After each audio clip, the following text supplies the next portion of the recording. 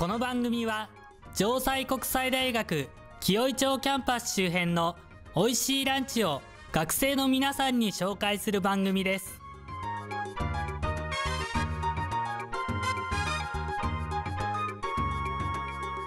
ジェーズランチ。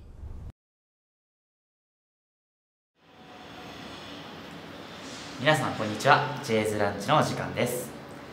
レポーターを務めます城西国際大学2年の小松正樹です。本日のテーマはキッチンカーです。それでは早速キッチンカーの集まっている場所に行ってみましょう。えー、ここは清井町キャンパスから3分ほどで来ました麹町3丁目です。行ってみましょう。見てください。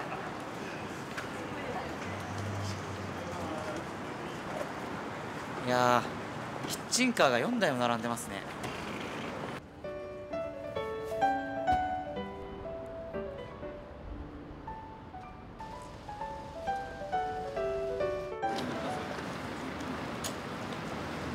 見てください。もうどうやら3種類から選べるみたいですね。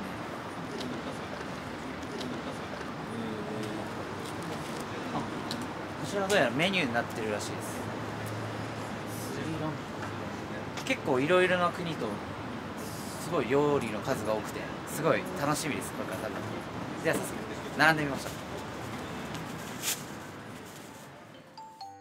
こちらはアジアンランチさん。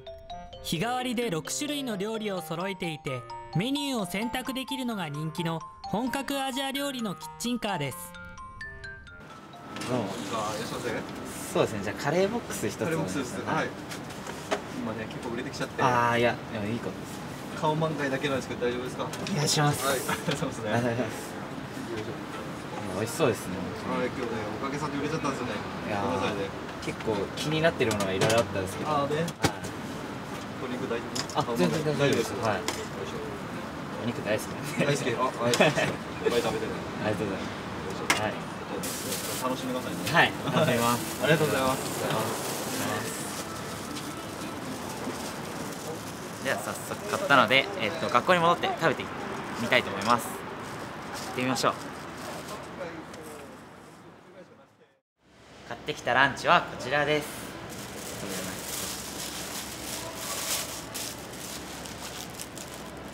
おお見てください。すっごい美味しそうですよね。いやーどうもお腹空いちゃって仕方ないです本当に。それではいただきたいと思います。ただきます。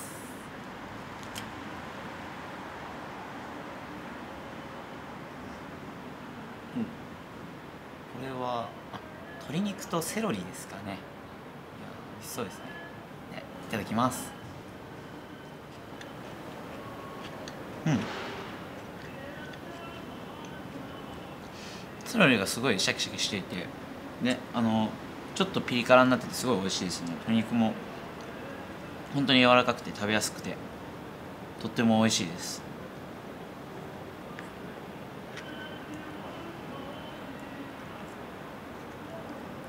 玄米の方もいただきます。うん。すごい美味しいです。なんか体にいいなっていうのを感じます。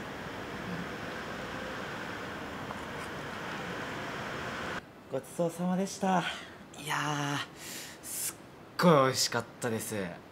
いやもしかしたら常連になるかもしれないですね。はあよし。ではこの美味しさについてどのような秘訣があるのかっていうのを一旦戻ってお話を聞きに行ってみましょう。うんレッツゴーす